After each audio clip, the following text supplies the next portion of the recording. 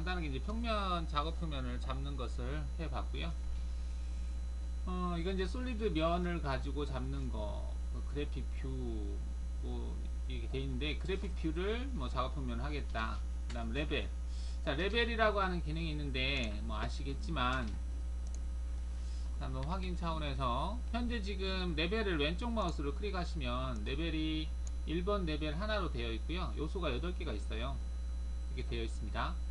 자, 되어 있는데, 그 현재 이 솔리드가 있고 현재 화면의 요소 개수를 한번 파악을 해보면 화면에서 요소 개수 체크해 보시면은 솔리드가 하나에 원이 6개가 있어요.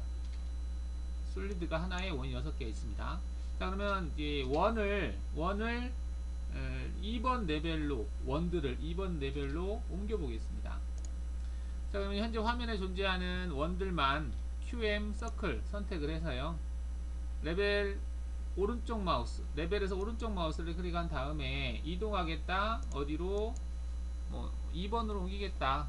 2번으로 옮기겠다. 확인하시게 되면 자 레벨을 왼쪽 마우스 클릭했을 때 이게 2번 레벨에 6개의 원이 있고 어? 1번 레벨에 뭐가 두 개가 있네? 1번에 지금 두 개가 있죠. 왜 두 개가 있지? 자 사용자 레벨을 1번으로 하고 2번을 꺼보겠습니다. 현재 화면에서 요소 개수 한번 볼까요 솔리드 하나인데 에, 뭐 색깔도 그 이상 표현하면 되는지 모르겠는데 일단 요소 개수라고 뜨긴 뜨네요. 블럭으로 되어 있고 블럭. 뭐 여하튼 요소 개수가 왜 두 개로 되어 있는지는 일단 점이 있는지 한번 볼까요?